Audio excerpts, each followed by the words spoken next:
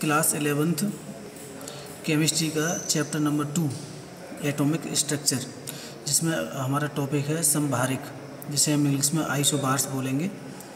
तो इसकी जो डेफिनेशन है, विभिन्न तत्वों की वे परमाणु जिनकी परमाणु क्रमांक भिन्न हों, लेकिन परमाणु द्रव्यमान मतलब द्रव्यमान संख्या समान हो, संभारिक कहलाते हैं। मतलब समस्थानिक में आपको मैंने बताया था कि आ, ऐसे तत्वों के परमाणु जिनके परमाणु क्रमांक तो सेम होंगे लेकिन परमाणु भार अलग अलग होंगे। वो समस्थानिक थे। लेकिन यहाँ पे क्या है? संभारिक है। इसमें ये समस्थानिक का बिल्कुल जस्ट अपोजिट है।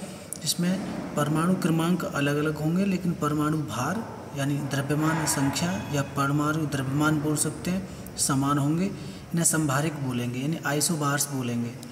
अब ए बराबर ए ए यहाँ पे क्या है? द्रव्यमान संख्या है। और ये बराबर ए मतलब द्रव्यमान संख्या बराबर होगी। कोई भी हम दो एटम्स को लेंगे तो परमाणुओं को लेंगे तो। अब जेड बराबर नहीं है जेड के। जेड का मतलब है परमाणु क्रमांक एटॉमिक नंबर मतलब एटॉमिक नंबर दोनों के डिफरेंट होंगे। इसलिए मैंने यहाँ पे ये इज़ नॉट इक्वल टू का चिन्ह लगाया है। और ए बराबर ए इसलिए लिखा है क्योंकि दोनों के परमाणु जो द्रव्यमान है वो समान होंगे। अब इनमें जो एटॉमिक नंबर है मतलब परमाणु जो संख्या है, अलग होने के कारण इनके रासायनिक गुण भी भिन्न भिन्न होते हैं मतलब अलग होते हैं। मतलब संभारिकों में जो संभारिकों के जो रासायनिक गुण होंगे, वो भिन्न होंगे, क्योंकि इनकी परमाणु संख्या भी भिन्न होती है। एग्ज़ाम्पल मैंने लिया है ऑर्गन और कैल्शियम का। आर्गन का जो परमाणु क्रमांक है, वो अठारह है और कैल्शियम का परमाणु क्रमांक बीस है। लेकिन दोनों के परमाणु क्रमांक अलग अलग हैं, अठारह और बीस, लेकिन परमाणु जो द्रव्यमान है, वो दोनों का सेम है चालीस चालीस इसलिए आर्गन और कैल्शियम दोनों एक दूसरे के संभारिक हुए। नेक्स्ट एग्ज़ाम्पल हमारे पास है कार्बन और नाइट्रोजन का। कार्बन का जो परमाणु क्रमांक है, वो छः है और नाइट्रोजन का परमाणु क्रमांक सात है। दोनों अलग अलग हैं, लेकिन दोनों के जो परमाणु भार हैं, वो सेम है, चौदह चौदह। इसलिए कार्बन और नाइट्रोजन भी एक दूसरे के संभारिक हैं।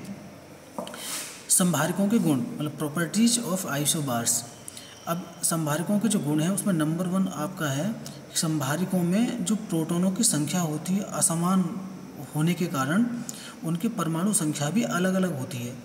और संभारिकों में प्रोटोनों की संख्या तो असमान होगी होगी, क्योंकि परमाणु क्रमांक दोनों के अलग अलग होते हैं, और हम जानते हैं कि जो जो परमाणु संख्या होती है, वो प्रोटोनों की संख्या के बराबर होती है। इसलिए जब परमाणु क्रमांक दोनों के अलग अलग होंगे तो इनमें प्रोटोनों की संख्या भी अलग अलग होगी।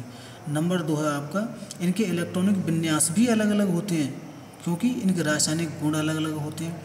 अब इनके रासायनिक गुण अलग होने के कारण ही इनका जो इलेक्ट्रॉनिक विन्यास है, वो भी अलग अलग होंगे, किन के?